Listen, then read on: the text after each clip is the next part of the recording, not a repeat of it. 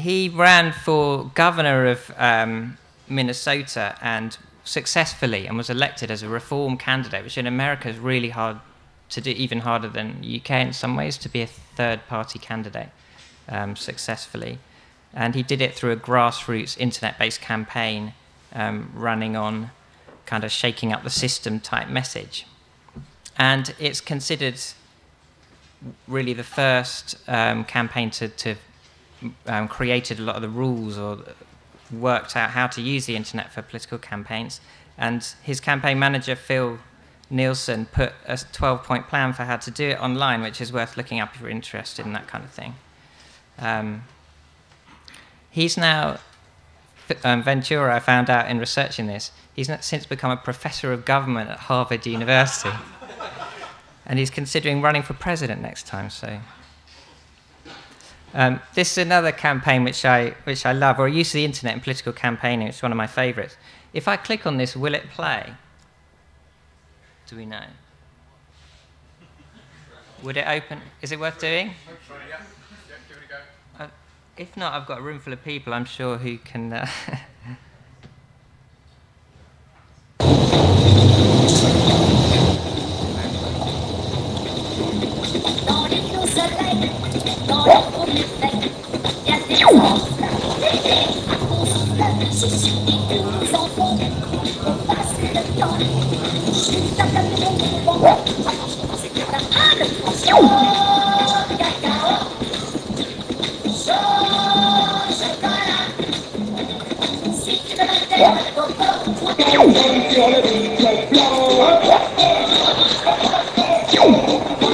Down the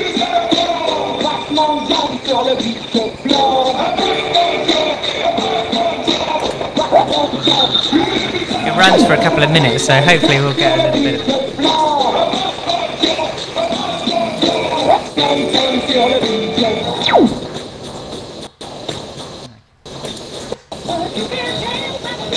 This is Nicolas Sarkozy. What you could do, you could stick him on the dance floor, put different tracks on, change his moves. France became completely obsessed with this. Disco Sarko. And it's well worth checking out properly because the actual moves are really funny. And how do I how do I get my slides back up on here? Didn't work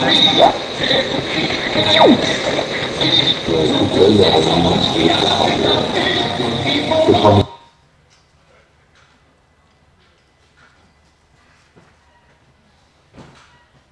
Sorry, no, it's not. okay. Oh, it has come. It has come. On your one, not me. Well, hopefully that was worth seeing. My main point about that, I mean, there, since then, lots of there have been lots of funny things like that in campaigns, and people have made these days apps and um, online films. The thing that I found most interesting about that one, apart from the dance moves, is um, the Sarkozy campaign actually is quite satirical because he was going after the youth vote and he got a lot of flack for um, not doing it properly and being kind of all youth and um, not getting it quite right, like politicians tend to do. Um, and that was something really satirizing that, but it was made by his own campaign group, um, so it became hugely popular. And at the end of it, they got uh, the mainly young audience to sign up to an email list and were getting messages from his own campaign. Um, in the UK, um, every election that comes round is always um, the media looks at use of the internet and says this time it's going to be the internet election or whatever.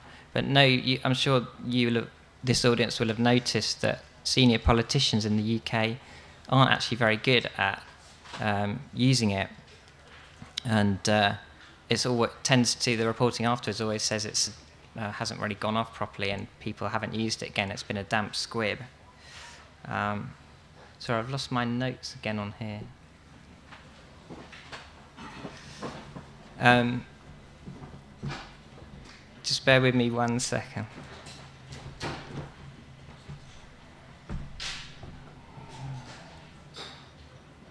Right there. Click in the middle. That will move things around. In a weird manner. Okay. Um, but in fact, what, what it tends to show in the UK is that um, the use is more people looking at official sites, people getting information. Um, about 25% of people at the last general election looked at an official source, party source of election information, and nearly half looked at a non official. Is that a damp squib? Kind of. But it also means that gradually um, half of us are looking online for election stuff. And this is one of the kind of disco sarco type stuff that's happened in the UK. Crouching Tony, Hidden Hague. Remember that? This is the kind of stuff that people tend to remember rather than the uh, candidate information. There's a serious point about the funny stuff, actually, um, which is that you have to do what becomes viral and what works. Um, e transparency, the accountability piece, the internet is fantastic at that kind of thing because you can crowdsource information and get different people looking at what's happening, putting it online and accessing it from anywhere. Um, one of the uh, good UK examples, um, mySociety, which many of you will have heard of, has done a lot of work in this area. Um, one of the best sites um, in terms of information about democracy is TheyWorkForYou, where you can access information about your elected representatives, sign up, and it will then just use your postcode. You don't need to know in advance who they even are. And then it will push you information by email whenever they stand up in Parliament or um, do anything, and it will send you what they said. Um, it's quite um, it's quite interesting because you think you know what the int- you might think you know what the main interests of your MP are, but you'll find you don't necessarily know until you get their speeches popping into your inbox in countries where democracy is less established, or even non-democracies, stuff like this is even can be even more powerful. There's a site that started in India, ipaidabribe.com, which uses the power of the internet in a, in a, um, a really powerful way, where anyone and, and, a safe way, I guess, as well, because anyone who has um, paid a bribe for something they shouldn't pay, have paid a bribe for can record it and say when and where they had to do it and how much they had to pay, but they don't have to say what the who, exactly who the official was or who they are. So there's no kind of payback. Um, it's a great website. You, I don't know if you can see it properly up there. Um, bribe ask for vehicle registration, bribe for police verification, asking bribe for attestation, paid bribe to an officer at village office, and all the little details come up. And then there's um, bribe analytics data and a, a running total of the amount of bribes 225.96 CR, which is crore, which is an Asian numbering system. It means 10 million, so that's 2 billion rupees so far of bribes recorded. E voting's a bit of an issue on its own. Um, which tends to really polarize people. Um, one of the reasons people get interested can uh, the internet or digital technologies be used for that part of the democratic system, actually voting itself? Would that maybe um, increase turnout? Um, would it make it easier for people who were going to do it anyway? That kind of thing. Um, a lot of it has its fans, and there's a lot of technology um, being developed, but then it has um, a lot of people also extremely worried about could this actually be um, a less secure way, um, a less private way, um, and these a lot of the early studies so far um, show that it doesn't actually seem to increase turnout that much. You know, disengagement is called apathy, but it's more disengagement. It's not so much that people can't be bothered to vote because there aren't convenient ways to do it. It's because they don't want to vote. Um, having said all that, it's not a topic that's going away, and there's the Speaker of the House of Commons at the moment um, has set up something called the Commission on Digital Democracy, which has considered a lot of these issues and is look, going to look at e-voting in the autumn. So if, if this is an area you're interested in, you should take a look at their website and get involved in that discussion. So it's going to be an influential policy paper e-government, local e-government is the piece where once people are elected and they do stuff, um, are they using technology properly to, to serve the citizen? Um, uh, to which the answer has generally been no uh, in uh, the last decade or so. Um, it's getting a little bit better. Um, in central government, they've brought together a lot of the diverse online services now under one team, under one model. Um, GovUK. Have we heard of that that website? Yeah. Um, it's much more usable than the, the old online stuff, more user centered. Um, but the problem now, really, with I guess, is with the back end stuff, it, is all of government doing the technology properly in their own bit and feeding it in properly to the to the sort of front end bit? Um, and again, the answer is probably no at the moment. Um, there's also tensions. Government's a huge, expensive thing. Um, and some departments in particular, the ones that are really huge and handle huge amounts of money, the financial departments, the benefits, um, tend to really resist feeding into nice, um, uh, the, the Gov UK kind of concept of nice, easy front ends. Um, so there's kind of battles being fought there. With local councils, again, huge area. One thing that I found out about recently that I thought was really interesting and kind of captured something interesting about the uh, potential technology here to be used in a good way. Um, it's something that the uh, West Yorkshire Fire Service is doing in Sheffield with a group of um, universities. And what they're doing is they extract, they're using masses of sources of data, I guess most of it open data, to predict where fires are going to happen um, and model responses. So they're using large scale um, simulation, they're using geographical data, demographic data, behavioral data, times of year, times of day, millions of different sources. So obviously they've done stuff like this before. Um, you'd have, in planning any public service, you'd be thinking about peak times or whatever. Uh, I thought this was an interesting pointer, though, about the new potential, um, given more and more sources of data and more and more complex technologies. Um, potentially, services will be, you know, really quite tech-driven in a sense. And again, are they setting up for it properly? Are they doing it properly? I guess you could think that was quite a minority report as well, that sort of predicting when things are going to happen. um, but it's all about motivation and accountability. If it's done by a bunch of people spending public money to serve the public, then it's going to be worth it, worth doing in that way.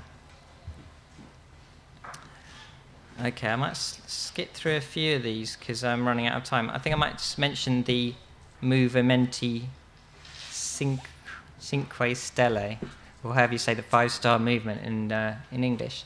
Do we have any anyone from Italy in here? Ah, maybe you can say a bit about it when we go to questions. Is that is this something that you're interested in, the five star movement? Well, I've been living in UK for the past four years, so I haven't been following too much. Okay. Uh, I know that they have a blog and they're kind of trying to implement this kind of liquid democracy to kind of having custom debates in the blog and, and voting. Yeah, so I mean, they're, they're, they're essentially a lot of their policy making and decision making is, is crowdsourced online, I guess we'd call it. It's a response partly to the particular Italian situation of politics being perceived as and perhaps being extremely corrupt. Um, so it, people racking their brains thinking, how can we actually make a system where decisions are made without corporate influence? And the answer is, we don't let any, any politicians make any decision. Um, so they create these online platforms. This is the guy, the guy who is in charge of it, um, Beppe Grillo, um, is a comedian, um, but obviously not just a comedian. Um, and one of the issues, I mean, he's in quite strong control, so although it's quite decentralized, um, there is often uh, tensions about can you run something completely decentralized or do you have to have um, that kind of central control? Um, but this isn't a small thing, this isn't a wacky thing. In the recent European Parliament elections, they won uh, 21% of the vote. They won 26% of the vote the last Italian general election. I mean, they're huge, basically. They're a real political force in Italy. Um, they're not the first part. They're not actually in government, national government, but they have huge representation at every level. They have mayors, they have regional councils, um, and they make their policy completely online.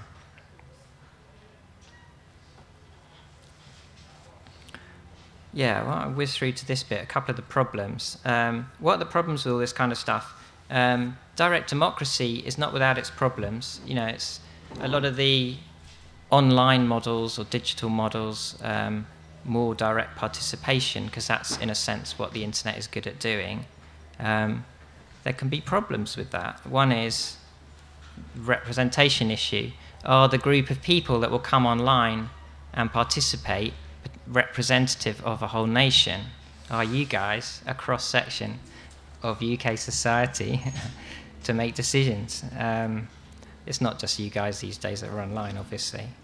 Um, but these are serious, probably the biggest problem, I guess, in some ways, with direct democracy. You want democracy is for everyone, including the vulnerable, the voiceless, the people that don't or can't participate in anything. Um, so an election is about the best way to sort of, it's not all the time, but to, to feed that mechanism into democracy. Um, direct democracy kind of circumvents that all the time. The tumbleweed tantrums and trolls is just about the online problems with online debate. Um, those are just three of many potential issues that you come up with if you try and do something serious and meaningful online and debate uh, issues. Um, and what the internet, I guess, tends to be is a catalyst. It, it, you need to get momentum. You need to have something that works in the first place. You need to capture an issue that people are interested in the first place. So with the Five Star Movement, people are fed up with corruption. Um, with anything that really takes off, even think about this ice bucket challenge, um, which is going on at the moment, which is one of the possibly the most successful online campaigns how, how come? How's that happened that almost everyone's heard of it? Loads of people have done it. Everyone's been trying to kind of spark viral campaigns. What it's done is it's captured a kind of perfect grouping of things. It's done something funny. It's done something where people involve their friends and social networks. Um, and it's tapped into people's existing desire to give a little bit of money to a good cause, kind of thing. So that's the clever bit. It's not the internet. I don't think it's not a country in itself. It won't come in and revolutionize and make society good. But if if um, you guys can think about how it can make things better and angle your work a little bit in that direction uh, and get involved in democracy, um, then that's the way to think about it. I'm gonna. I did have. I, I, did have more ideas. I mentioned the meetup as well. If you're interested in talking more and finding out more, come at half past eight to the workshop area, um, and we'll have a further chat. But does anyone have any have any immediate questions, or please, or comments, or stuff I haven't raised that you were hoping that I would talk about? So if we Oh. are left with Sarkodisco, uh, Thank you. So if we are left with Sarkodisco as a future of e-voting and whatever, uh, the democracy is gonna end pretty soon. I mean, if you're not viral, you're not getting elected. It's kind of we're losing the point. Yeah. Is there any hope? Well, that's a profound question. Um, it's to do with what people want and find fun, isn't it? This, this, the Sarko Disco is not, you know, not, that's not the whole of French democracy or the whole campaign. This was a successful use of digital tools for that piece of, a, of the democratic process, which is a necessary piece. You need to campaign, you need to these days, I guess, capture an audience and then tell it, hopefully, your policy message. That got people onto the email list. The young people became Sarkonauts, I think they were called. And then the campaign sent them some messages which hopefully were a bit more serious than that. Is there any hope? Not sure. Any other? Yeah. Can you, sorry, can you wait for the mic or do they need to? Or shall I just repeat what he says? Oh. Hello. Oh God, that's loud. Um, so, digital democracy gets thrown around as a term quite a lot, um, but obviously, as we move into a more and more digital world. One of the things that that uh, keeps getting mentioned at the Digital Democracy Commission that you mentioned is that actually what they're talking about is not digital democracy; it's just democracy in you know in in the world that we're moving into. So. Is it necessarily a thing, or is it just a reinvention of the an, an evolution That's of the a whole complaint. system? I d- uh, No, no, not yeah, yeah. I um, I quite like them just to talk about democracy in some ways because I think the bigger problem for me is engagement with democracy, understanding of democracy. You know, no, a, there isn't really such a thing separately to me as digital democracy. There's democracy. There's now the digital world. Um, there's good and bad ways then, or different people can can use, and so I'm interested in that area. But no, only if it can improve democracy. But ultimately, yeah, it's important to focus on what, what is our democracy, how can it work better? You know, something like the Scottish independence vote, that's a nice democratic question. Yeah. Um, hi. Um, do you think um, elections and political parties are something that need to exist in digital democracy, or do you think we could have purely crowd-controlled voting on issues?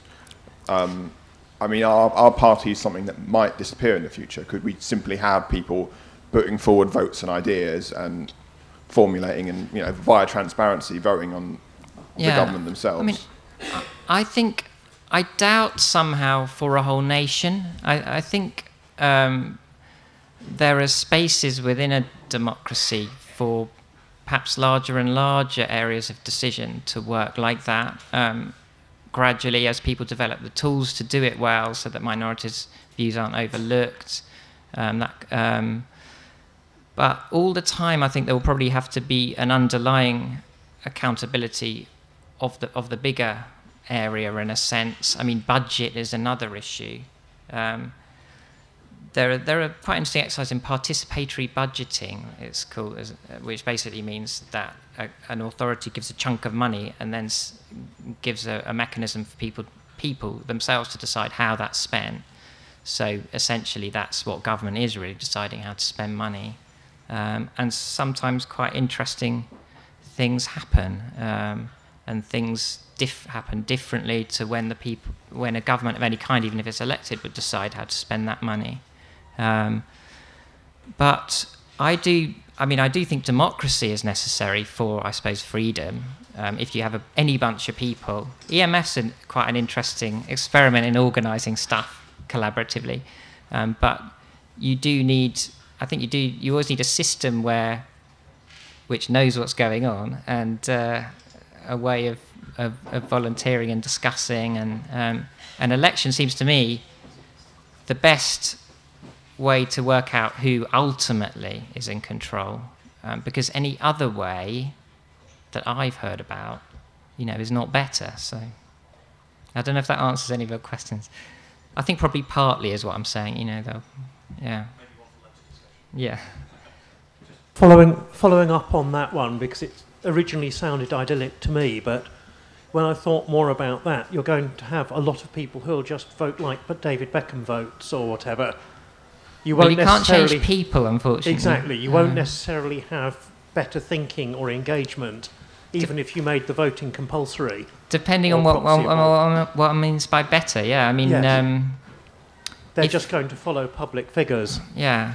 Who will what- effectively become politicians. What's right for a nation isn't necessarily what one personally thinks is right, and you know, I guess there's, is there such a thing as right and wrong, and it goes to really profound questions like that. I think it just comes to me comes down to a practical level, which is I think you've got to have a system of government, and uh, a form of democracy is the best system com- compared to all the other ones. You know, it's Churchill's old.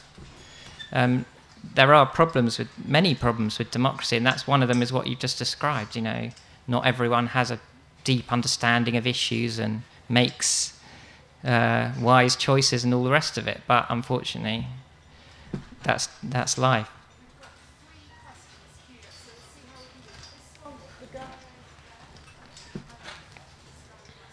Yeah. We were focusing mostly on elections here, but do you have any good examples of people actually using, um, you know, internet and whatever to show people, okay, you elected me, that's what I've done for you, uh, that's my accountability because everyone wants to get there, but once they get there, being accountable, that's a whole different story. Well, accountability is one thing. Politicians telling you what they've done. I mean, a politician will always tell you what they've done is good and what they said they do and that kind of stuff. And that's natural. I mean, you can be, you can say that's terrible. That's we would all do that in a sense about talking about our own. Uh, the way the internet's good for accountability is much more though other people finding stuff out. You know, a group of people look comparing manifesto promises with what has happened, that kind of stuff. The internet's great for that kind of stuff. Um, that's where the accountability comes from, bottom up. All the top needs to do is let that happen. You know, make sure freedom of, of, I guess, you know, freedom of speech, the basic freedoms, you know, which we do have, basically, compared to most other countries. Yeah just curious about what you thought about the interaction with media in this, because obviously a lot of people are educated by the media. So if the media was nobbled by corporations and the media can influence what the voters would do, do you think there's a greater chance of lobbyists and media being able to corrupt and subvert the dem democratic system? Uh, well, speaking as a journalist, um, I mean, when I, slightly, um, whenever I hear the media, I'm always, I mean, the me the media includes everything from the Sun and um, corporate owned outlets to um, newspapers and outlets that are more serious to BBC, which is supposed funded to be neutral and smaller these days. Know, it's a very diverse thing. So there is lots of good stuff and lots of good journalism, and there's more corporate. There, there is an element of corporate influence. And one of the points I'd always make there is that you know, these are these are important issues to think about, but these are issues that exist in every nation, and they are worse in non-democratic nations. So, um, corporate influence in somewhere like Russia, there's no separation between the companies and the people around the country in countries like that because there's no kind of me people mechanism. In this country, in democracies, corporate influence is something we need to be careful about, watch out for, definitely. Um, we have more of the tools to do it, and we need to do it. You know, the answer isn't to attack democracy, in my view. Very, very short question. Uh, just to pick up a few things that were mentioned, and I'll be very brief. So you, you made this comment: we want to have better thinking, and uh, that's that's something worth uh, thinking about. The statement to me, it's not that clear. And uh, what what you said earlier, uh, the, the internet-connected crowd is very good at information gathering. I think we will be better at collecting information and then making that available to people who want to inform themselves. And that is something where we can already see uh, differences to previous uh, previous decades. Was that a question? All right. 30 talk again now, and then we applaud, yes? Oh, yeah. So, yeah. Um, yeah, so let's carry on talking. I mean, it's great. There's interest. If you've got things that you wanted to, to raise, or if you want to come talk, it's not just be to me. There's James here who's running for Parliament on policies that will be partly selected online. So there's, um, there's other people at EMF who are really some really leading people in this field, and we're going to try and get them together at 8:30 in the workshop space. So come and carry on bit. I think you can bring a beer as well. I don't know. No, we're not going to stop you. Yeah. So see you later. Thanks.